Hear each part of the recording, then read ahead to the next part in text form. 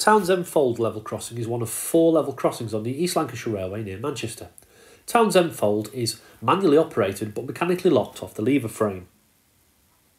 The crossing itself has two level crossing gates, the left hand one of which used to open across to the goods shed. The lever frame is a 10 lever frame, though not all the levers are in use.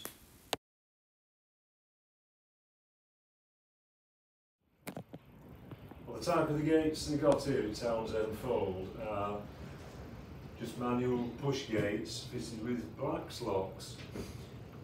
The locks on the gate post are connected via levers, cranks, this lever here, which I cannot replace into the frame at the moment until both gates are correctly across the road and the bolts correctly engaged and, and locked. That enables then this lever to go fully normal.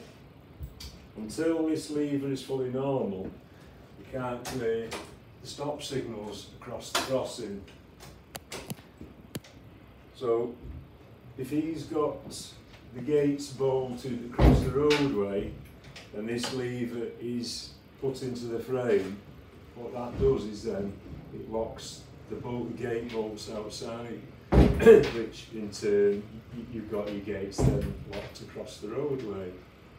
The distance actually don't work at all, but again, the distance won't be released until the stop levers are reversed. Uh, that's it.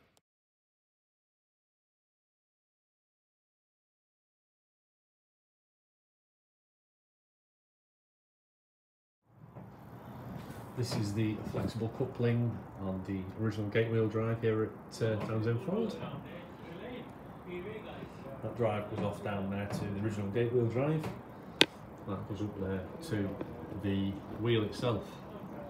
And that acts as a shock and buffer zone and also if the gates get hit, that takes some of the uh, pressure as well.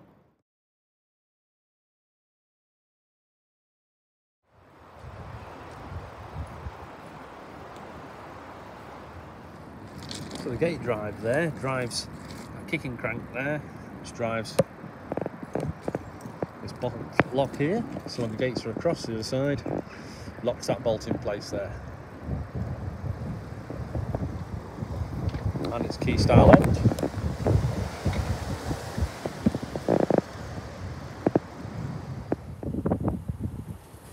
That fits into there when you turn it. Pull your lever, your lever comes up, locks the gate bolt in position. Ramsbottom level crossing is quite unique in heritage preservation in that its level crossing is interfaced with a set of traffic lights for road users. These are part-time red, yellow and green indications and we'll see some of that operation now in use. It's worth noting that the level crossing also has pedestrian wicket gates which are also interlocked to the frame. We'll see those also in use. The wicket levers are brown. So that primes the traffic lights. Okay. Traffic lights with the crossing gates. Putting that normal in the frame releases gate stops lever. So just give it a few seconds, you sort of make sure the electronics in the frame down there have kicked in. Now, so to replace this number two lever, the, stop lever to the normal position, that primes the road stops and it also drops the rail stops, which frees up the gates and the position they're in now.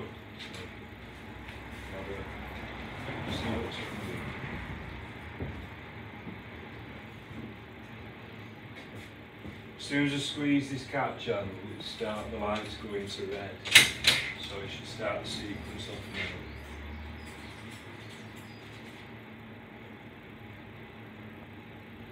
Right. That goes back.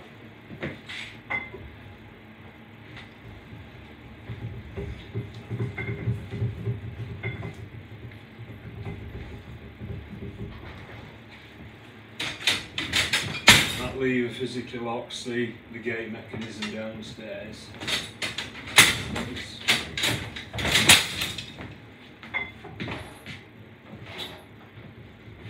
The rail stops stops are popped up again to capture the gates and swinging across the railway. Squat, squeeze the catch handle upstairs, that breaks the feed, which then puts the traffic lights to, to danger, Yeah. goes through the sequence. And then when you wind the gates, it breaks the, another contact in, Contact in box. there. So the traffic lights only come off to green when the the gates have gone completely across the railway. Obviously, the the, uh, the stop lever's reversed by then, so they, they go, go to green again. Then that's it. So that's the purpose of that. Right. So you got you got um, this escapement motion. Well, it's not an escapement; it's a direct drive. Just direct you know, drive, it's yeah. just yeah, So the rack and pinion yeah, off the gate wheel comes down. Rack and pinion actually drives the gates. correct, yeah. Uh, ah, yes, I see. Yes, so that And attaches to the electric lock. Yes. And that's the that's controlled by number one lever. That's the one that physically bolts the Ah, yes. just like the facing point. Just lock. basically point lock through the main rod. I mean, all our gates on the London Midland were like that, you know, Yeah. Furness Vale, all them, you know. Worked well over the last few years. Yeah. Uh, we've done a lot of work. A lot of work. yeah. Issue, issues with council, road salt and stuff. No, not really. That's no, I mean we bad we maintain the road stops every six weeks. You know, we we, That's we close off half the road, and then uh, we we just give them a good oiling and grease, and um, there's grease nipples and all the pins That's now good. and all the joints and that. So uh, as long as you sort of they- they're intensively maintained, but up to now we've had no bother Yeah. with them. They're a busy crossing as well, aren't they? Hell you have. Various cranks. This large one here is the main gate drive, which just which pushes that rod that way and operates another crank underneath the timbers there. Basically, these two mirrored mates we've got side. At the same time,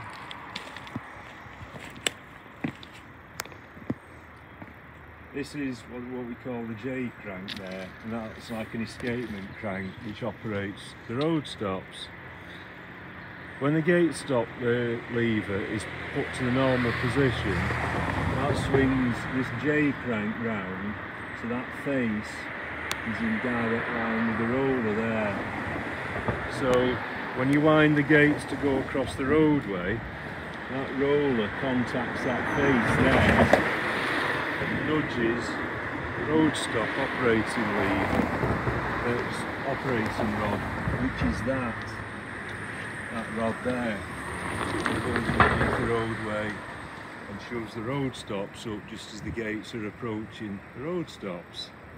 Now, when we want the stops, the road stops down, you pull the road stop lever to the reverse position and that moves that rod there and the J crank contacts the roller and also the shoulder contacts that bracket there. That drags the road stops down. At the same time the cranks also go to each rail stop which when the gates are coming across the railway, you want the rail stops up in the air to capture the gates, and the converse when they're going before they go across the road, you want them dropped.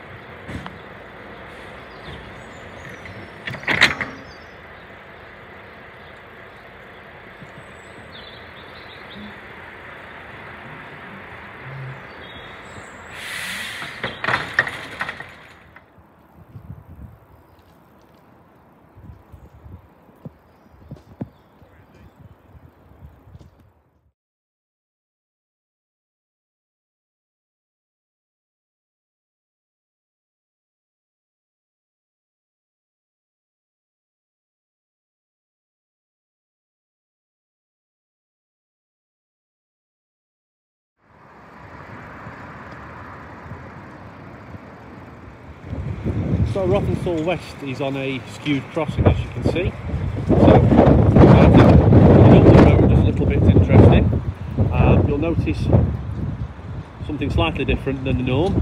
There's a very small lower light unit just fitted there and the reason for that is a very windy day here. If you just look over there, there's a side road coming out straight into the crossing. So they had to have their own set of lights as well.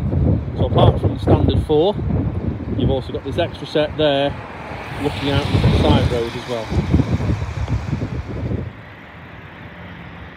We've got a pedestal in front of us that controls the barriers, the four gated barriers here Yeah. at uh, Rawtenstall West. There's one there, there and there. For those that don't know, Z Z barriers are on the down and Y barriers are on the up.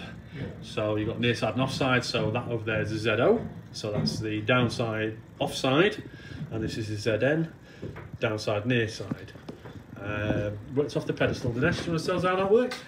The same, it's got low, raise, crossing clear, you press crossing clear, and once it's clear, you press lows or raise, then you put a stop on So it. when you're going down, you, pre- you press the down, uh, press the lower, Then, Um, you've got an emergency stop there to stop it should you need to. yeah. Um, you've got all your indications there repeated as well. You've got battery charge, road signal, machine door, and barriers failed. That's that's slightly different. Yeah. That's good. The normal and track circuit release on the top. Yeah. Almost full actually, yeah, just just in case you get track failure.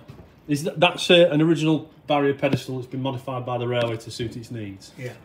Here we are on the side road now, just looking at the set that's pointed directly across from the side road. As you can appreciate, drivers coming out the side road here will be a bit preoccupied, looking left and right. Sighted left for them, so they'll be a bit preoccupied, creeping out very slowly, trying to get around the corner of this building. That's why we provide the extra indication for them as well. Lovely box again. Metal palisade fencing instead of the traditional wood. It looks quite uh, quite nicely done in the white and it lasts a lot longer than the wood will as well. And as with most our standard barriers, 843 units, they have two sides to them. One side which is accessible uh, for emergency pumping, there's a pump handle in there that can be engaged to pump barriers should they fail, up and down. And the other side has the contact boxes and the motor in for the S&T side, because we don't want the operations staff going in that side touching things they shouldn't be touching. Um, one side, obviously, if you open it up, it will trip out the alarms upstairs on the barrier pedestal that you saw before, so we know when one's not been put back right as well. Um, the other side, not alarms, so you don't need uh, don't need access to that. Standard booms, detachable here, and there's also some colour vargle nut in there, which is a shear off pin. Um, on this side, side, and we also have a micro switch detection on these. Traditionally, these used to have a wire that used to go up, and if the boom got knocked off, say a lorry hit it or something, they had to shear the wire, but it wasn't guaranteed that that would always work. So now they have micro switch detection in here, and that's what this little fair is. Also, this cable brings all the lights up and everything, so that's part of that. The lights themselves come on around about 83 degrees. There is a little marker on the side, which is very handy to note. That's what this is for, on the side of all the packs. And obviously, with most sequences of these crossings, the first thing that will happen is you will get the yellow lights. Um, it goes right now between three and seven seconds, and then the red road lights will come on uh, for another period of time after that. Then after that sequence is operated, the barriers will start to descend and with it being a four barrier crossing, you get the entrances, barriers come down first, leaving the exits open so you can still escape the crossing should you already be on the crossing driving across. And then after, once the first pair come down, the second pair will go down afterwards. Uh, standard operation, you'll see that next.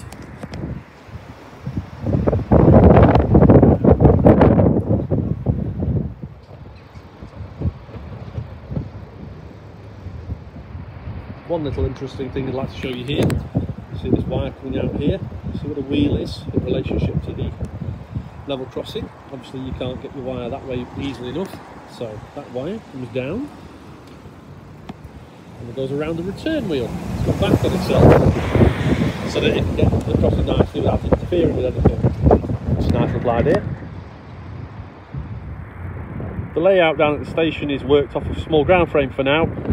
The box isn't co fully commissioned yet. There's still a bit of work to do to get the rodding running between the points and the signal box, but all the lead offs are in place ready. That will be the next job for the S&T. Cross, crossing clear first. Okay. The cars out.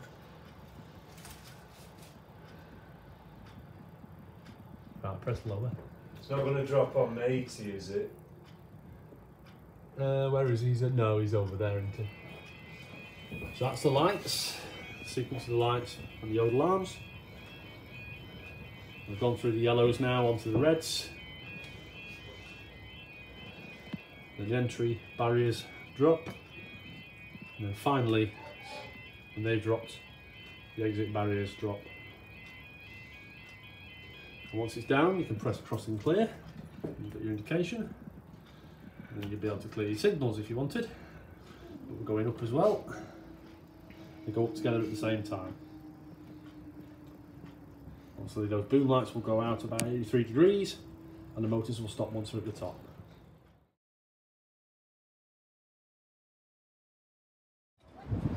These are some of the control systems that operate the level crossing. So without going into too much of the circuits, obviously timer or the timer for the young alarms on the back there. Um, stop relays, lower stick relays, crossing normal stick relay, yellow lamp relay, uh, yellow timer relay, red lamp relay, yellow timer repeat relay, COM JR the COM JPR the contacts on the booms and doors if I remember rightly. And you have controls for the rays and obviously the failed indications and timers, all for uh, the different sequences of the operations. You have the up and down indication relays, stick relays, door proving relay, um, as I mentioned before, when you open the doors, that alarms upstairs as well. And then we have finally the lamp relays down there for each of the individual crossings. All standard 930 plug-in relays. Um, and there's a few other little there just added in. The standard cupboard, single cupboard, quite a nice job. We're, we're surviving this wind, this storm, Aiken, whatever it is, is coming in at the moment. So we're surviving that. And just a sample of the control circuits here. So the typical level crossing circuit is your contacts out on the bump units that I mentioned before, and you can see the made between 0 and 83 degrees. Um, standard circuitry, symbols, motor relay, cutouts, etc. Raised relays that you can see. These are these Lancs controls for Rawtenstall West level crossing. For the standard circuits, you have LED boom lights here, um, which are a lot easier than the old traditional ones we used to have to take the lamps out of. Uh, it's all standard circuits, standard controls, uh, to, and the layout for the location itself we've just seen. So that's just three of the four level crossings that the East Lancashire Railway has. The fourth one down towards Castleton, allowing access to and from the Network Rail infrastructure, which we'll go into in another time.